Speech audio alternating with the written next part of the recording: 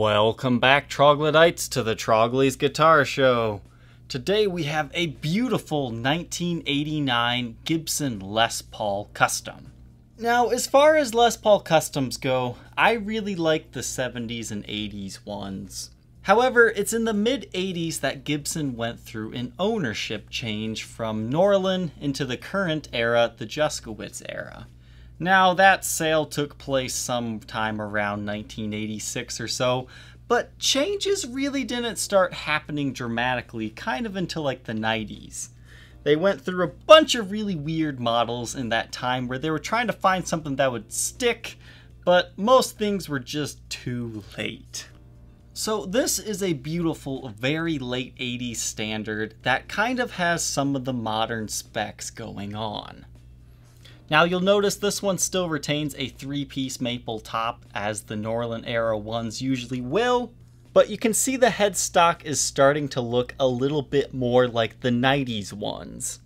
The 70s and 80s Les Paul Customs really have a unique look to them, Whereas from first glance, if I could not see the serial number on this one, I would probably say it's a very early 90s one, simply because of how the logo looks, as well as how the custom spear looks. But these are maple tops with mahogany bodies and a mahogany neck. But these are fantastic guitars for people who want kind of a more modern guitar that's a little bit older, that still looks terrific. Now, something that's unique about these like 88 and 89 Les Paul Customs is they have a fairly rare pickup combination. These are home to the Bill Lawrence The Original pickups. These are a circuit board designed pickup and they actually sound pretty good. I get asked all the time, how does it compare to a Tim Shaw or a T-Top? And I've never really been good about describing how a pickup sounds. I can tell you that they sound great in the right hands, but I wouldn't necessarily suggest paying crazy money for these pickups or seeking them out to put in your own private build. I like them from a historical standpoint since they were only in Gibsons in 88 and 89. Now, yes, some very late 87s will have them, as well as some very early 1990s before the 490 series was introduced. But they're just kind of interesting pickups, and it's really easy to tell if a guitar will have that or not because one of the versions of these pickups has these larger adjustment screws for the height. See how that's much larger than normal? That's how you know there's Bill Lawrence the original pickups in here, without even having to pull them out to look. Now, it is getting increasingly difficult to find really nice 70s and 80s Les Paul customs in Tobacco Sunburst. It's actually more common to find a 25 50th anniversary Les Paul in a tobacco than it is to find a nice Les Paul custom. And finding one in fairly clean shape is also difficult. So when I saw this one come up, it was like, yes, I love Tobacco Burst Customs, because this is what my first older Gibson was supposed to be but I ended up getting the 2550 because it was just too hard to find one of these, and it wasn't that much more money for the anniversary one. Now this one was built in very late 1989, 306th day of the year, so it's essentially a 1990 model, and a lot of people like to refer to the 90s as the Goodwood era. So overall, besides being a beautiful Les Paul custom and playing extremely well, it's not really historically significant in any way besides the rare pickups that Gibson only shortly used. They're just beautiful guitars and they make for great players. Now that we've learned a little bit about this guitar, let's go ahead and hear how it sounds.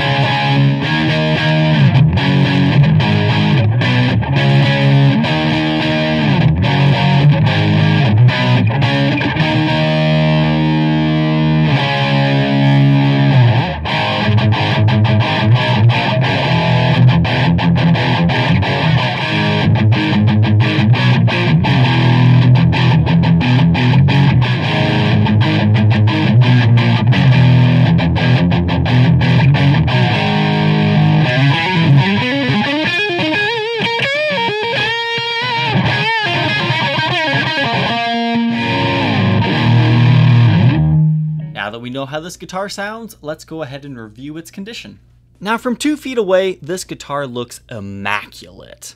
But then when you get it in the light and you start looking for stuff, that's when you can see it's got some scratches, nicks and dings, some light finish checking marks here on the headstock. I mean, it's not a perfect guitar, but you would be hard pressed to find someone that would be repulsed by its condition. You've got a straight neck, truss rod works just fine. You've got a little bit of stand rash on the side here. You can see that slightly more ambered part there. It's very minor, but it is there and worth knowing about. You have the original nut and original ebony fretboard with frets that just show very minor wear, hardly any at all, with a beautifully slick ebony fretboard. This really is a nice playing and sounding example. You can see the body has some light nicks and dings to it as well as some picking scratches, but I think a really good polish job would clean most of this off. Again, I've got to handle these guitars in order to show them to you guys. I would hate to become the white glove reviewer. But you can see the gold has a little bit of wear to it on the stop bar piece here, as well as on the pickup covers very slightly. Back of the headstock, our serial number is 83069612, made in USA, and this is kind of a 90s characteristic here, where it has a bare, natural mahogany neck, and then they give it the dark heel. That's just kind of what they did in the 90s and the early 2000s, so don't be suspicious that this is a heel repair if you ever see a 90s Gibson or early 2000s have that kind of color scheme. Now there are no breaks, cracks, or repairs to this guitar. You've just got some very light wear along the neck. Most notably to see right here is there's like some bubbling to the finish. I think if a ring bangs up against the back of your guitar neck, that's how that happens.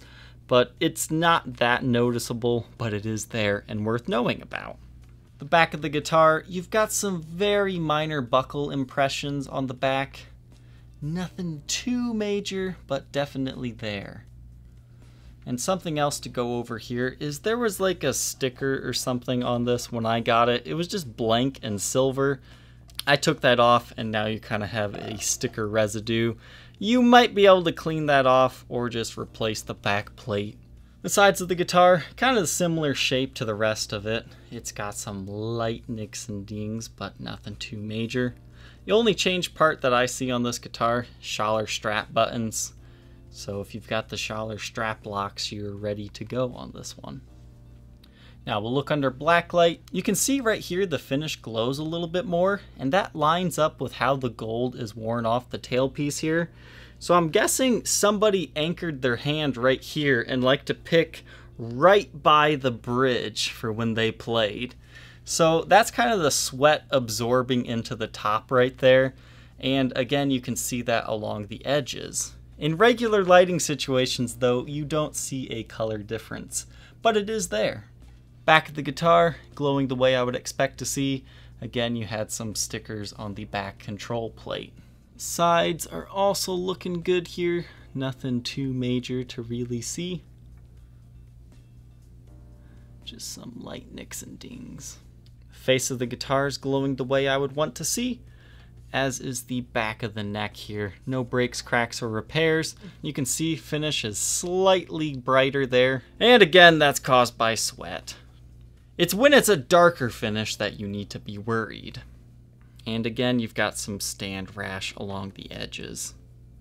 So overall, it definitely passes the black light test with very minimal things to explain. This guitar retains an era correct Gibson USA case this is like the first iteration of the modern day Gibson USA brown and pink interior case. You can see you've got some scuffs all over it. I would definitely say the case is in worse condition than the guitar.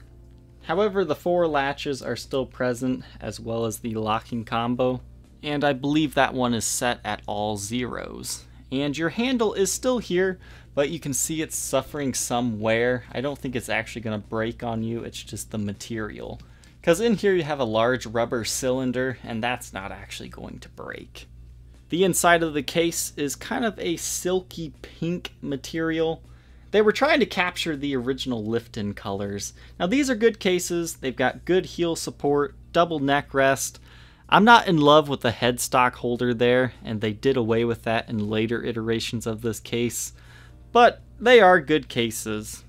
Originally, this would have had a pink blanket shroud, but that has been cut off. You can see the tabs. But it definitely does its job. If you think you might be interested in being the next owner of this 1989 Gibson Les Paul Custom in a gorgeous tobacco sunburst finish, feel free to contact me on my Facebook page, facebook.com slash troglys, T-R-O-G-L-Y-S. Thank you, Troglodytes, for tuning in. Don't forget to like, comment, and subscribe, and we will see you tomorrow on the next episode. Take care.